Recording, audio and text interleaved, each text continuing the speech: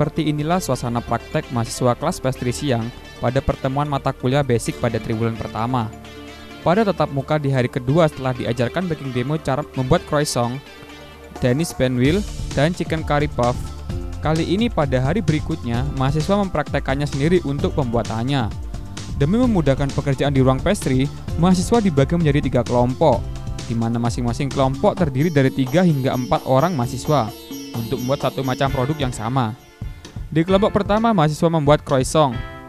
Kelompok kedua membuat Dennis, dan kelompok ketiga membuat chicken curry puff.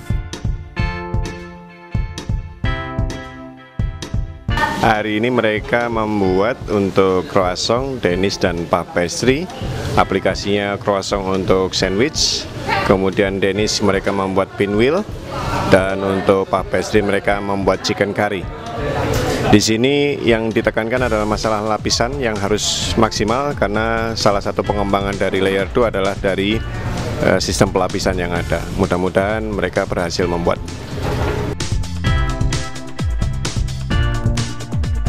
Dalam praktek kali ini, yang ditekan kepada mahasiswa adalah lapisannya harus maksimal, karena salah satu pengembangan dari layar itu adalah sistem pelapisan yang ada.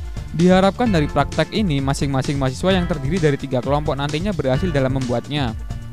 Di akhir praktek setelah pengembangan dan pemanggangan selesai, mahasiswa memplating sesuai dengan kreativitas masing-masing yang nantinya akan disajikan untuk dievaluasi oleh Chef Oce selaku dosen pengajar.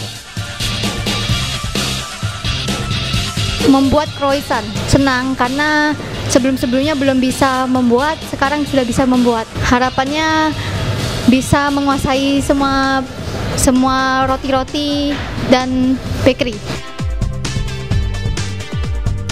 Itu tadi praktek mahasiswa kelas pastry siang dalam materi basic yang dipraktekkan langsung oleh masing-masing mahasiswa.